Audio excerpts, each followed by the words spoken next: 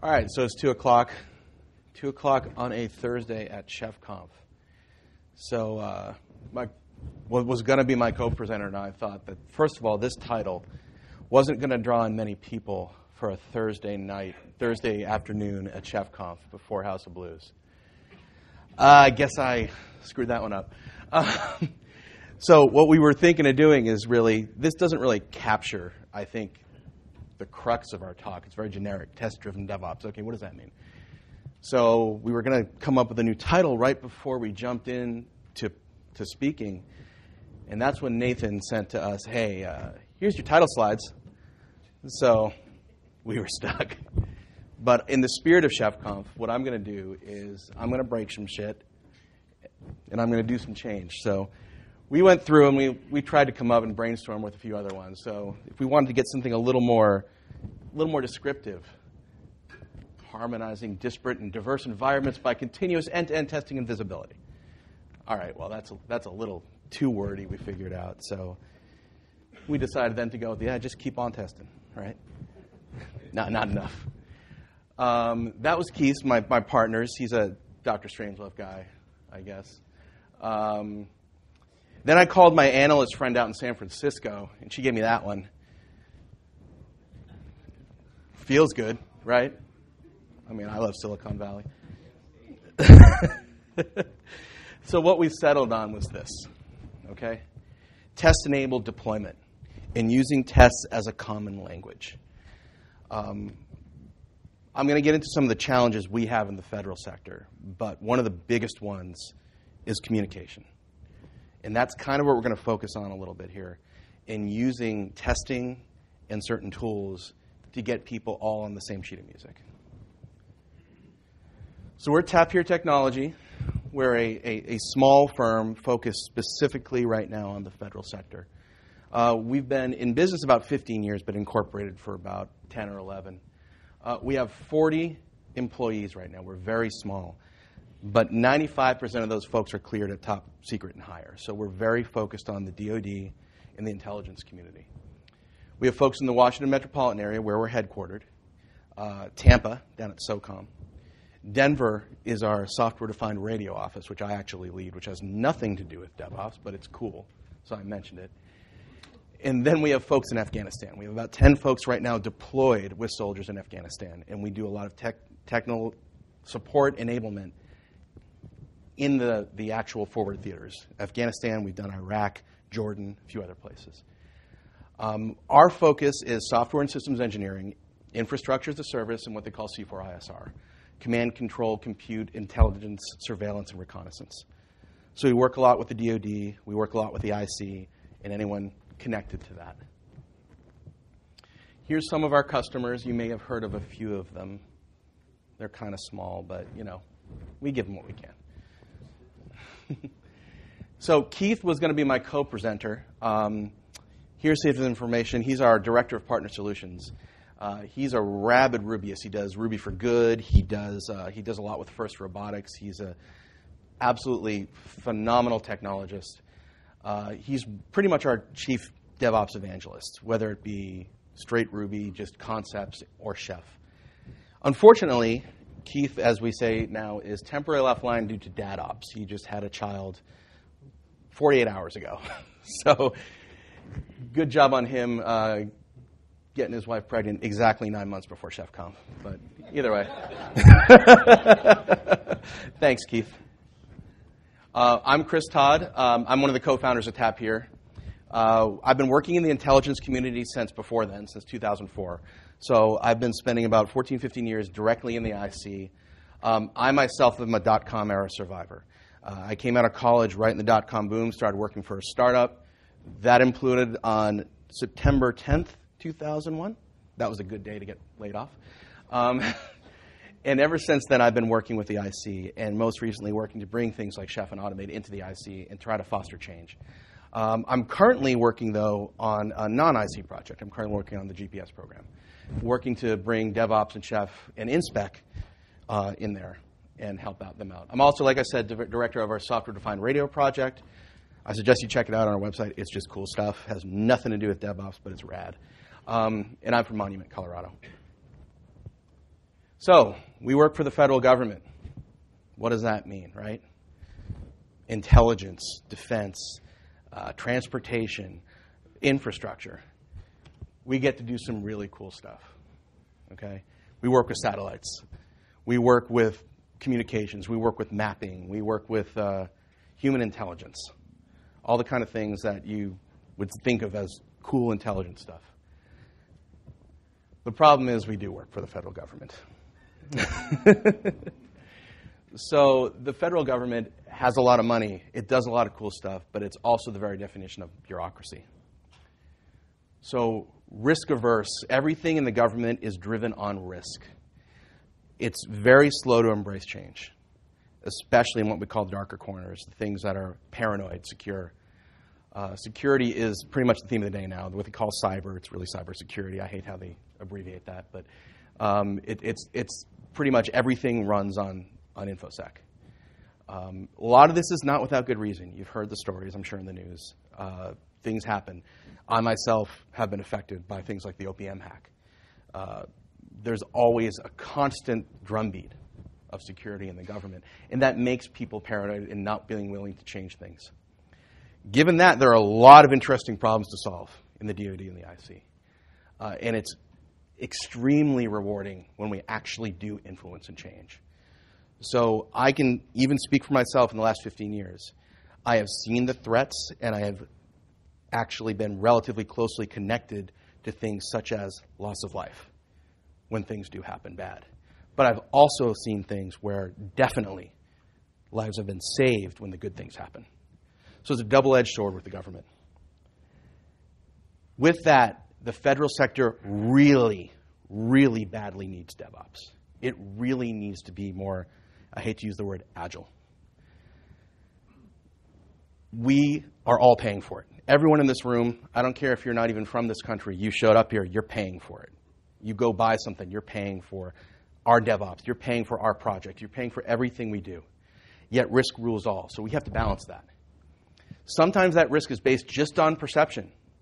Sometimes it's imaginary. Sometimes it's about accountability. Politics are very real. Okay? 2013, when we had the sequester, our company has never laid anybody off, but the closest we ever got was during that sequester, when we all got a three week free vacation. Projects got delayed, pushed to the next year. Things didn't get done. Intelligence was not moving because projects didn't get done. So when you think about all this stuff going on in the news, all this squabbling on Congress, and think, oh, it doesn't really affect me, no, it does. I guarantee you it affects you.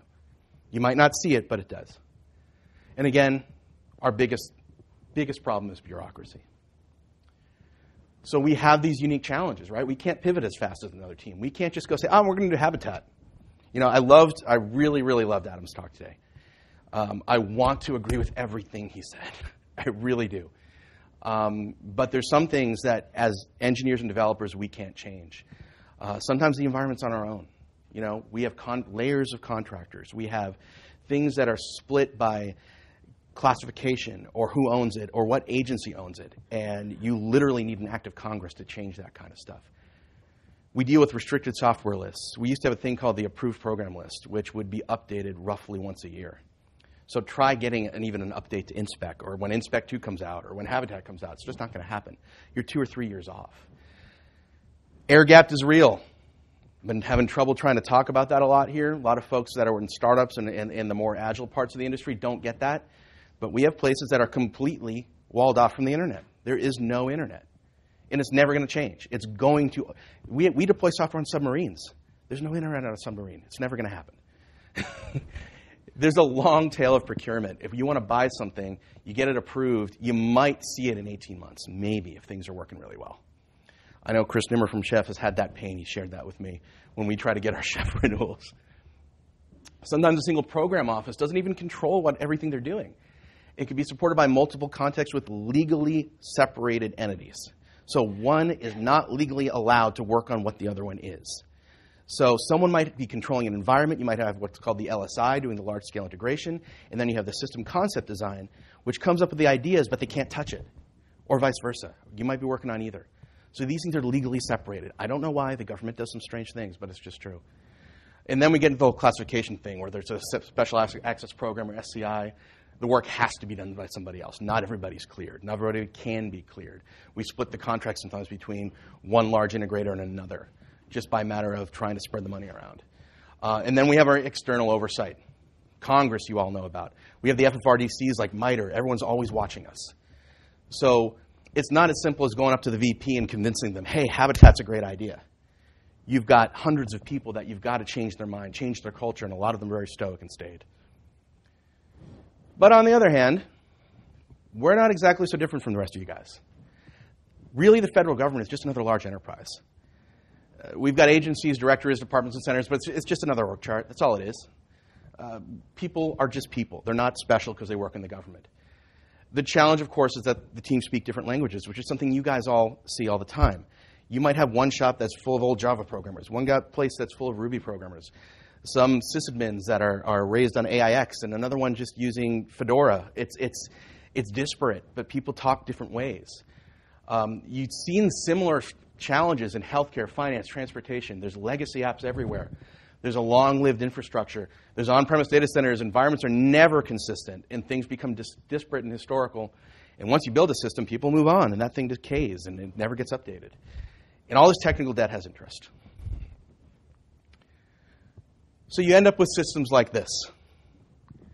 Now, I'm saying, I assure you, this is mostly real. I can't talk about exact environments or someone would roll up in a black truck and whisk me away. But um, sometimes our integration environments or staging, they're not even run by the same people, for example. We have a contractor maybe that might be deploying things while we're building it. Uh, the classified side, sometimes you can do new stuff like AWS, but the old stuff, I mean the unclassified stuff. The classified stuff, you have to stick with something like an old VMware stack from VMware 6 or something like that.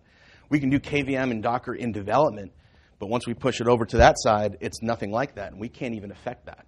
It just is what it is.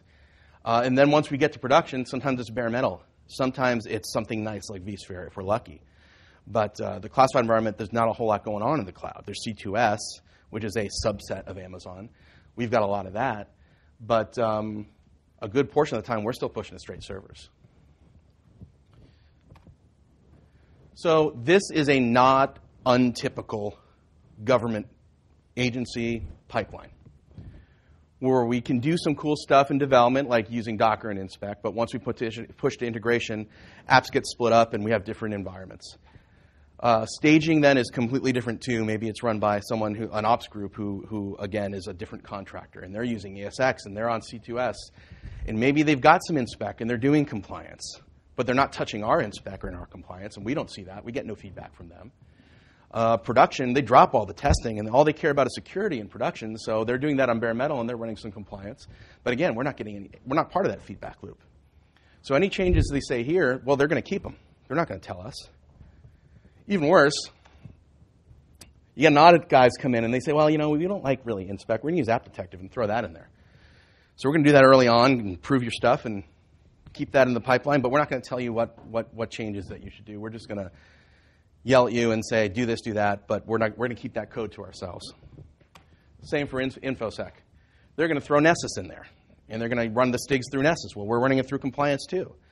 So you have differing and competing interests all the time because everybody's kind of fragmented. Oh, and I didn't mention there's a firewall between integration and staging, and this is all air gapped, and there's only one way transfers. So, in all the mile, we're not doing any environment checks. We're not saying, oh, is this consistent? Is this something we can deploy to? So occasionally this breaks, once in a while. so, how can we make this better? When you can't change the actual environment, the best answer is to illuminate that environment. Get visibility and get transparency out there. What we call this, when we've been talking about, is declarative communication. Something unambiguous. Something where you can just say, this is what it is, this is broken. This is what you need to do. Something that's continuous and portable. Nothing that requires a big license install. I've talked to a lot of the great providers here, the sponsors, that have monitoring systems. And I'm like, well, can you guys do this in an air gapped environment? No, not really. Uh, there are fun. Sensu sounds like it's great, and they can do some stuff. But again, it's, it's, it's not something we can port from all these environments to an environment. Um, we want to also build these changes to light before the build breaks. We don't want to test afterwards and say, hmm, what happened? we want to make sure that we can deploy and actually put stuff out there before we see that the, our pipeline's broken. the state of the deployability of the environment, not just the code we're putting out there, should be accessible to every stakeholder, whether it's another contractor, whether it's another development group. They should always be able to see if things are set up for them to deploy. So what I called it was a Rosetta Stone that we need, excuse me, for system requirements across teams. The problem that we have is things break due to disparate, diverse, and unusable environments and chaos abounds. But if we do a few things, we can maybe rein that in. Number one, if we capture our failures, they'll be documented. Once they're documented, they can be organized. And once they're organized, they can be triaged. Once we triage them, we can focus on them by team. And once they're focused, we can actually work them. So there's something that you can use for that. And we found over the past few years that InSpec is a great tool for that. It lets you annotate and communicate requirements in testable code. You can handle requirements from multiple teams platform development, security, environments, anything that you put in there. InSpec has a lot of things, and I'll show that in a second, what that you can, you can test, obviously. InSpec is amazingly easily readable. One of the problems we've had is when we deal with InfoSec, if you're doing straight code, they're going to be like, I, I, don't know what this is, guys. You know, I'm not a, a developer. Just, just tell me, is my cert expired? Show me you're asserting that these SSL ciphers are actually turned on. Well, InSpec, you can do that. It's really simple. It's declarative and it's unambiguous. It allows us to assign priority. We can say, well, this InfoSec stuff is much more important than these nice to haves. We can reuse it and extend it and reference it by context. So if we have a classified environment, we can still point to the same profiles, but we can extend it with secret or top secret additions to those profiles. It's lightweight. We don't need a server. We don't need licenses. We can move it around. It can live by its own. It can live with Chef. It doesn't really matter. We can just easily port it from place to place. So Chef sells InSpec as compliance. You guys have probably all heard about that. Uh, and it's great for that. It, it provides visibility to security compliance. A lot of you guys might be using it for that now. So, just real quick, when we're talking about compliance, we're talking about things that break the rules, put their system's assets and resources at risk. Those risks are legal liability, theft, unauthorized access, chain of command, chain of control. And then the, the alphabet soup that you all know of. I pick yours. You've got a few. I know every one of you does. So this is a great example of a compliance example in InSpec that I would say for most folks with any level of technical knowledge is fairly easable, easily readable. We're saying these, these are two actual STIGs. Windows RDP saying that we need to have a certain encryption level set. SSH, we want password authentication off. A security person can read that. A sysadmin can read that. A developer can read that. It's not something where, oh, you've got some weird API that you're talking to. This is actually as close to English as you're going to get for describing these high level concepts. InSpec is also used a lot for functional integration. A lot of you guys are probably using InSpec in your kitchen tests. Uh, it's really good for testing your cookbooks in a sandbox. Uh, the problem is that often gets stuck in the development world. You know, you run your InSpec test, my unit tests are great, all right, fine, I'll ship it. But you're not sharing that with other people. It answers basic questions like Is my software installed? Are my configuration files in place? Do they have the right settings? And did my cookbook do what it's supposed to do? If you're doing that, fantastic. It's something everybody should be doing. Even if you're using Puppet and Ansible, God forbid, use InSpec. It doesn't depend on Chef. InSpec is a tool for everybody. It doesn't, it's, it's part of the Chef stack, but it absolutely has zero marriage to Chef, and that's something I've been trying to hammer to people. So here's a good functional example. And if you guys ever have taken your badges, you know these ones pretty well, I think. Uh, making sure services are on, making sure ports are open, things that, that make your application work. Very simple, again, for people to read. And the list of things you can test, and we didn't even get through everything here. Uh, I think we got to part of the AWS, and this is InSpec too, but it's going to keep growing and growing and growing. InSpec can look at every part of your environment, and if not, you can write a custom resource there's really no reason that anybody in this room, I think, shouldn't be using InSpec. So, what can we do if we want to expect a little bit more from InSpec to try to unify this? Can we go beyond compliance? Can we go beyond functional unit testing integration? How do we test how multiple VMs are integrated? What about uh, when we deploy from one stage to another? What about outside your own teams? Uh, how about things that aren't covered by your cookbooks? I bet a lot of you guys in here, as automated as you are, ha- there are still manual steps. I know we have manual steps. There are always manual steps. Um, and InSpec, again, doesn't have to be stuck to Chef. A lot of people that are developing cookbooks, I see them when I'm, when I'm mentoring them for teaching them how to do InSpec. They'll say, oh, well, you know, it's, it's part of the cookbook. It's part of the directory structure of the cookbook. Yes, it is, but no, it doesn't have to be. We want to get InSpec working outside of the cookbook and compliance world. So, step one get InSpec everywhere. That's, that's our first thing that we want to do, and that we did in uh, a certain agency that we worked on and, and wanted to deploy this stuff to.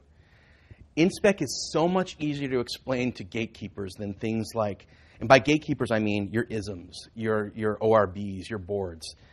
It's so much easier to explain than Habitat or even Automate. You're saying, what all I'm going to do is go out there with a, a, a, rules engine and test and enforce, not necessarily even enforce, just check for some rules. like, oh, more information, that's great. Nobody's going to complain about that. Run InSpec as its own entity. Don't Stop thinking of it as tied to Chef. Run it everywhere. InSpec is light, it's easy, it, it's compatible with everything. Just put it out there. I don't care if you're not doing anything. Get it out there. Just like the old idea of putting the Chef client everywhere. Get InSpec everywhere. And the key part here is that you're going to publish your tests to a common meta profile stream. And we'll talk about meta profiles in a second. You're going to guard your controls by context, so you're not going to get any false alerts if you don't need to. And you're going to collect your output in an organized way. But clearly, the other thing that we want you to do is to run InSpec before deployment as well as after. So you're going to bring tests into your profiles that pre-flight your environment and say what is right and what is wrong in my environment, what do I expect before I deploy. Not only apps, resources, and we'll talk about what that is. And again, here's just a simple example of how you can run InSpec on your, on your own if you haven't done it before. InSpec exec, dump it out. It's real easy. So step two, out, part of getting that to that point is to migrate out of your cookbooks and get to profiles. Use profiles. There's no reason, even in your unit test, that you shouldn't be using profiles. Decouple from your cookbooks, test where your cookbooks don't cover, Profiles let you organize, reuse, and extend, annotate, and publish things outside of your enclave. Your cookbooks, your, your tests now are, are their own independent entities that can be shared with everybody in other teams. So here's an example of a profile. I think a lot of you guys have seen it before. The key being that it doesn't live in your cookbook, it lives in your repos. Okay? And it can be named DevSec SSH or whatever it is in your classified environment or in your unclass environment. But you can keep your deltas here for your top secret or your JWICs or whatever other configuration you have for a different domain that doesn't run if you're not in that domain. You can keep things separated, but, but still inherit from the same base test that you reuse everywhere. It's extremely self documenting. Nobody likes to say, all right, well, how do we fix that? What's wrong? Well, look in the wiki.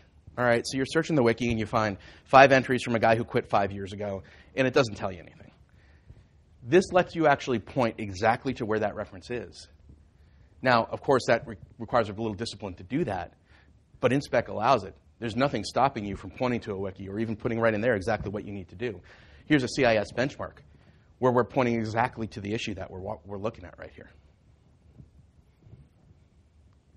So the bigger picture of all this is using meta profiles. I know a lot of you are familiar with wrapper cookbooks. If you want to change something in a cookbook, you write a wrapper cookbook, make it your own. Meta profiles let you group these things into one pointer, one, one base where you can actually point at and say, run all the things. Okay? So you have a Linux meta profile. And it does your network, it does your storage, does your, your environment connectivity. And it's the base profile that every team contributes to, whether it's InfoSec development, or infrastructure.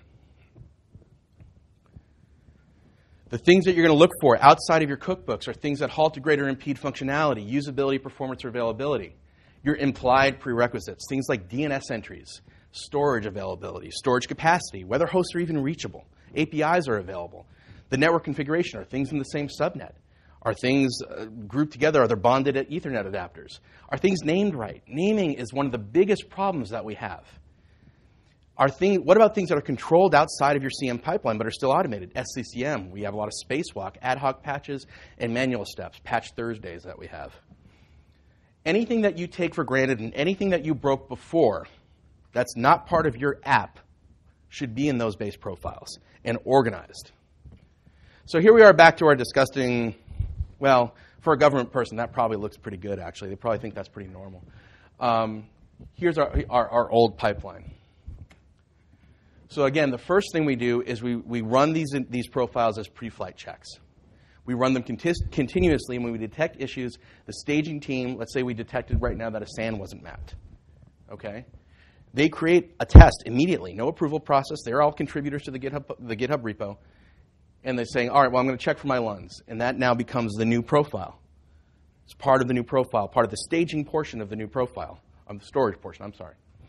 And then they merge that back to master, and everyone can use it. The next step is you get all teams. Now, this is the hardest step, of course getting all teams to contribute to that base profile. But if you open it up and you start actually testing different parts, people are going to want to contribute, and I'll explain that in a minute. So, get all your teams contributing to the same repo on that base profile. You can do some deltas if you want for classify because there's all, their own teams working in there usually. That's, it's still compatible with doing that. And then you're going to be continuously testing. The first part of the loop is to triage, categorize, document, and then you add to your base. And then when you come back, you can implement, annotate, and redeploy. Keep doing that. Those are the best practices from test driven development.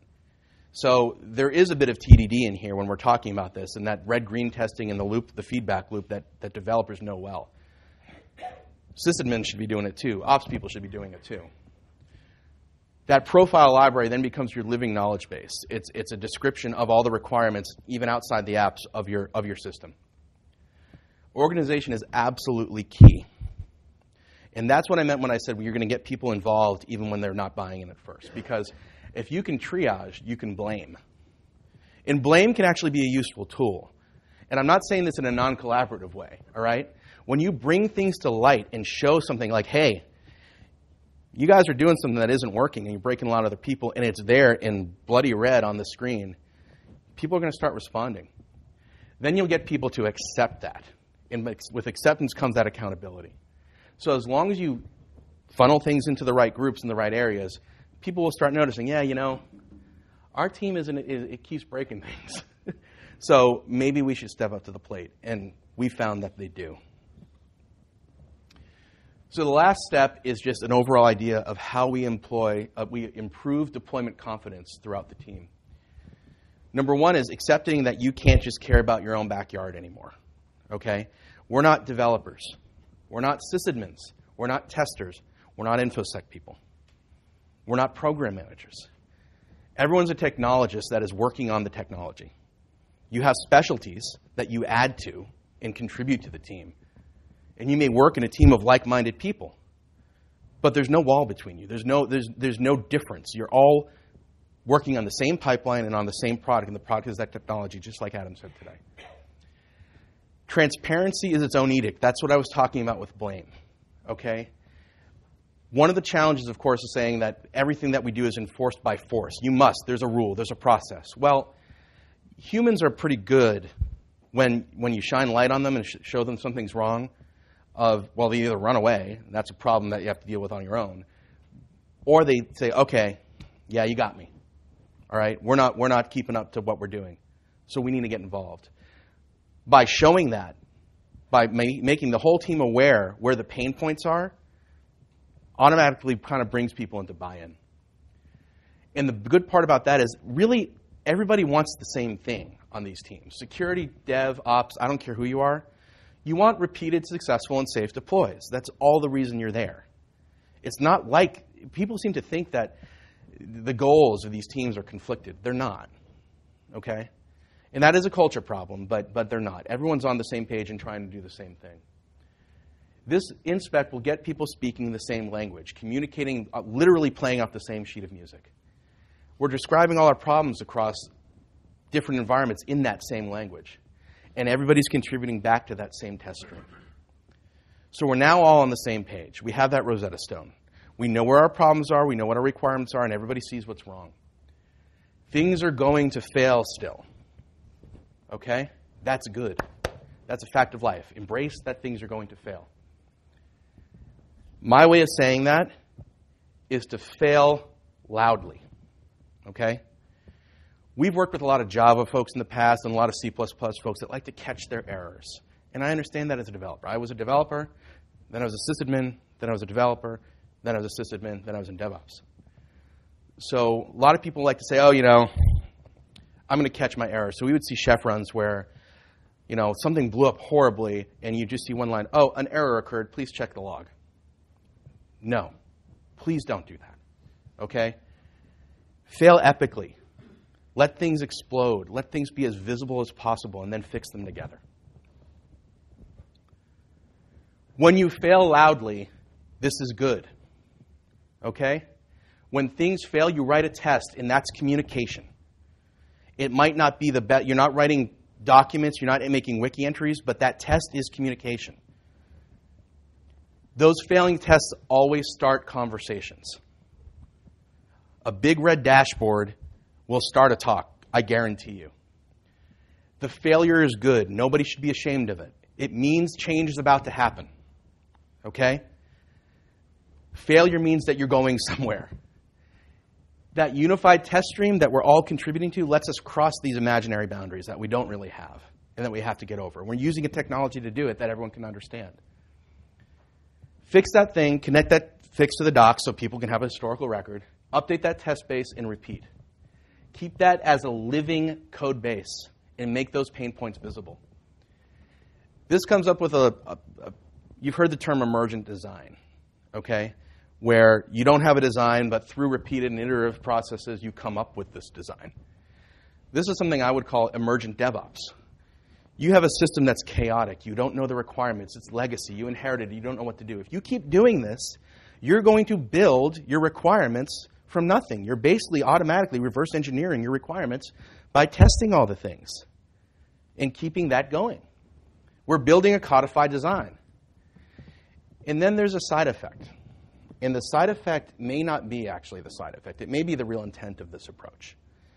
And that is to actually infect culture. Okay?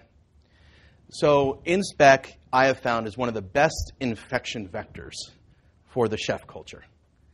To get in there and inject that idea of people working together, changing, breaking things, and making things work InSpec is the easiest way in to convince people and then turn up the, war- the heat on that boiling frog in getting people to come over.